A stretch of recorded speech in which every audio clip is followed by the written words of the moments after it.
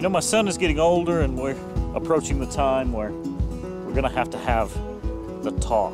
I mean, there's a real battle going on out there for the hearts and minds of our children. We decided to be more proactive and intentional with our daughter. My father instilled in me this passion, and his father before him.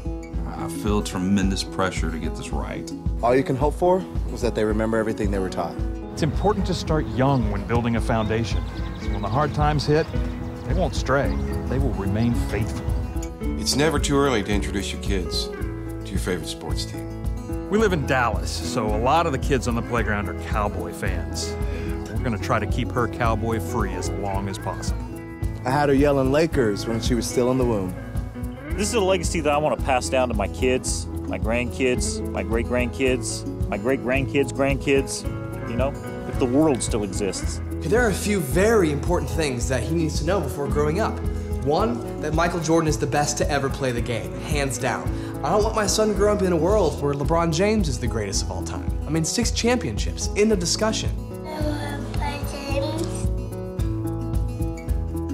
The Cowboys cheat, the Cowboys killed SpongeBob, whatever it takes to get this idea out of her head that the Cowboys are cool, I will do it. If it means dressing up like a cowboy and scaring her in the middle of the night with a chainsaw, I will do it. I don't want to have to force it on her, but let's face it, I'm gonna have to. It's the Royals we're talking about. I have a daughter. But hey, who said it was going to be easy? It's all about being intentional. All you have to do is plant the seed. As a Red Sox fan, I, I really want to teach him. Hey, Dad. Mom needs you downstairs.